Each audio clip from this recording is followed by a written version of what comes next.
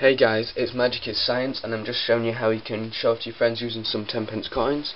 So if you just come over here, you can see I've got six coins set up and then you can ask your friends do you think they can make a circle out of those coins with only three moves. They can say, they'll probably say no, then you will can show them that you got that you can by going one, two, three, and then you've got your circle. An easy way to remember how to set up is if you number the coins.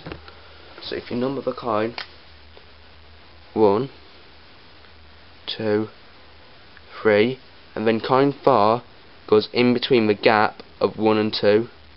So then that's four. Then five goes in, in between the gap of two and three. Then coin six would, if there was another coin here, would go in between the gap of 3 and the coin which isn't there.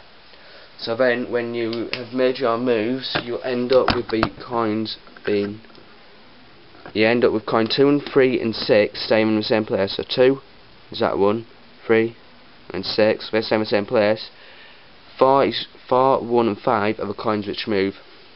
So coin 5 moved from here along there.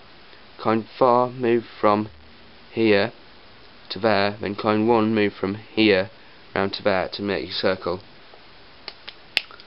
So remember that when you are doing the trick, it is